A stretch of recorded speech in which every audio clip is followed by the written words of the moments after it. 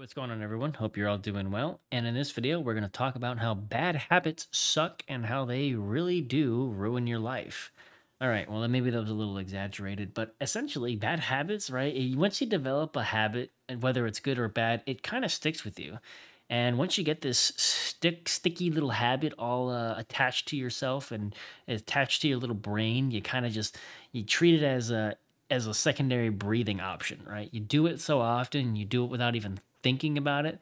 And like I said, if it's good, then it's a good thing, right? And the habit could be as simple as going to the gym every day and working out. That that's a good habit, right? You know, take rest days, obviously, have um, the right amount of protein, have eat uh, the uh, the appropriate amount of calories, and uh, rest. You know, rest as much as you can. There you go. You get yourself a gym habit, something that's good for you and something that's keeping you productive, and you know allows you to not stray too far away from a healthy lifestyle and bad habits like eating cookies every single meal right? Uh, instead of eating you know regular food you have i don't know six cookies a meal in addition to chocolate shakes every two days right? Those are bad habits because not only are you spending money to get those uh, and you end up just spent wasting time and money putting in effort into something that's not giving you any benefit. It's not even going to increase your uh, your your mood or anything. It's just going to hinder your body's performance to do well. And that's a good example of bad habits, right? A bad habit is something that's negative and that affects you in a way that you don't want it to, but you do it so often that the bad habit becomes second nature to you. And uh, being able to get out of a habit in itself is such a damn challenge because once you're into something that you do so often, so frequently, telling your brain to, hey, maybe I shouldn't do this today and go do something else can drastically alter your mood, right? It can really change the way you think about the day, about your life, about the week. It, it can just change your mood and it's like a mood swing because it, the bad habit is an addiction, right? And we call bad habits bad because they're usually directed towards something that's negative in your life, something that is something something that doesn't provide you value, but it's still pleasuring, right? You can receive physical pleasure from drinking chocolate shakes every single day. But you know the the caveat to that is high blood sugar, right, cholesterol issues, and diabetes potentially, and and obesity. If you have too much of one thing, your body's gonna suffer for it, and you're gonna suffer as well.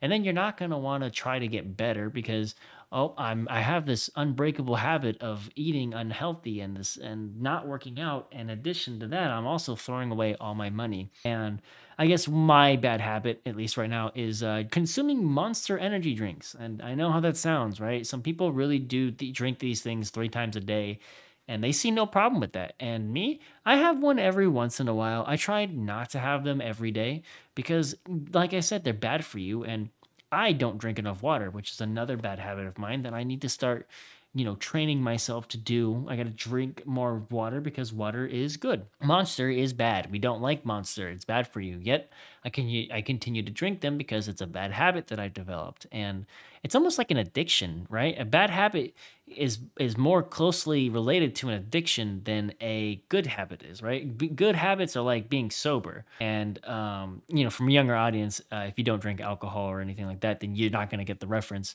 But essentially, you know, when when you do something you like so much uh, and it's bad for you, you're not really gonna feel guilty about it until one until you start noticing something like until you get like an eye-opening experience right? People some people i've seen uh, who are like obese and have you know candies cookies every single day they can they'll get like a heart attack right? They'll be saved by the doctors and then they realize oh that's a wake-up call.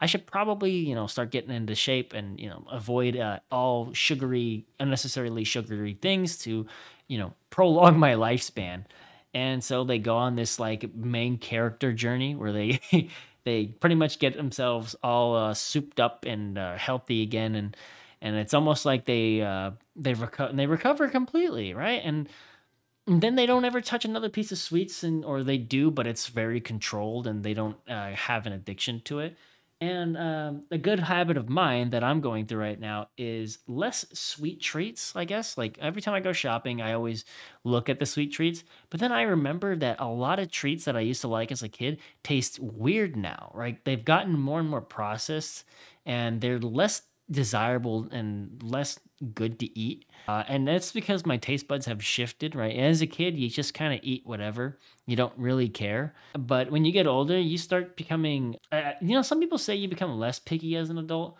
but I've noticed that I've become a little more picky, mainly because, at least towards you know sweets and treats. Because uh, as a kid, I you know you, you just devour any sweets and treats. You don't really care what it is, where it came from, as long as it's good, it tastes sweet, and it makes you have like energy rush. Then it's it's equals good, right? It's hundred percent positive and good for you. Uh, not actually, but you know what I mean. Whereas I'm an adult now, and I'm looking at like at a pack of cookies. Not only do they cost a lot, but it's like every time I eat these cookies, I don't gain the satisfying feeling and sensation that I used to get as a kid when eating these. So then it that's kind of my deterrent is uh, I just like I'll look at them, I'm like these sound so good, and then I just think a little bit more about them, and I'm like, yeah, as much as I would love to scarf these down, they're not going to bring me any joy or satisfaction. Everyone, you know, if you crave them once in a while, mm, they're pretty good. You know, I, hey, I haven't had these in weeks. I'm gonna, you know, have a small pack and eat them, and, and usually by then you're you'll you'll be nice and full, and you won't want to have them again for another two weeks. It's kind of like uh, the little little Minecraft phase that people go through, right? The people will will devour Minecraft for weeks on end, and then they'll stop and they'll go on this hiatus from the game for months, and then they'll come back and then they'll go on a hiatus and uh, you know so on and so forth. And that's the same for food and sweets and treats right? You don't want to eat hamburgers every single day because why would you? There's just no reason to. Uh, again it goes down back to the whole you know bad habits bad habits you know spending money on something you don't need uh, and you know you keep even if it's like three dollars it, it, does add up and that's a bad habit right going somewhere going to pick up a monster energy drink for me it's like two dollars two or three dollars for me and i'm like spending two or three dollars when i could be pocketing that money and some of you are going to say well that's just pocket change you know no biggie no harm but when you're doing it all the time because you start losing self control, you start to really notice that two or three dollars does make a difference because it adds, right? Two or three times, I don't know, like five, it's fifteen dollars. And then that that 15 times four, because you're doing it every like all the time a week, and you're doing it four times a four times a month, and that's that's once a week or twice a week. Who knows, right? And it just gets worse and worse.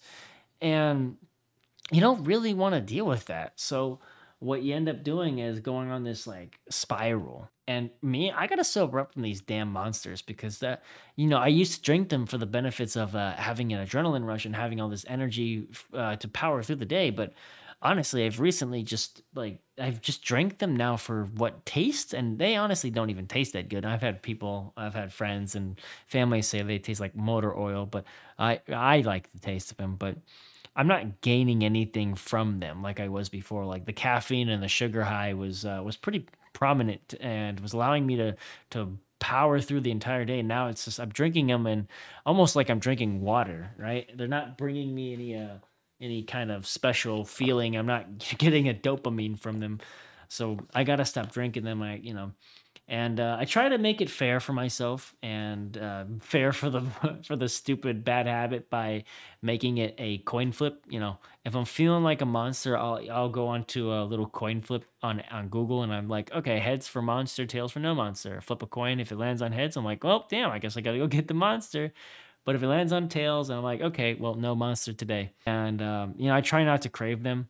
I just I, I can't associate monster with something negative right now. And I, that's what I need to learn to do is associate the monsters to something negative. And it kind of goes back to, it goes all the way around, right? It orbits right back to bad habits and how they suck. They ruin your life because you can do uh, bad things, right? The bad habit doesn't have to be simple as drinking monster. It could literally be doing like, you know, the bad stuff, right? You could be doing bad stuff that's not good for you at all that could kill you if uh, if not regulated and I mean, and no kinds of drugs and whatnot can be regulated. If you're doing that stuff, you gotta quit it. You gotta find help, seek therapy, because that stuff is dangerous. That stuff will kill you. But uh, yeah, anyways, guys, that's uh, that's all I got from me for now. I uh, just want to talk a little bit about bad habits, how they suck, and how you should try to break the uh, the iceberg or break the ceiling of the bad habit. Get out of there while you can, because bad habits could trap you into this uh, never-ending vortex of pain and misery. And uh, debt, right? Debt is a big thing. You know, we all love money. But uh, yeah, thank you all for watching, and I'll see you all in the next video. Peace out.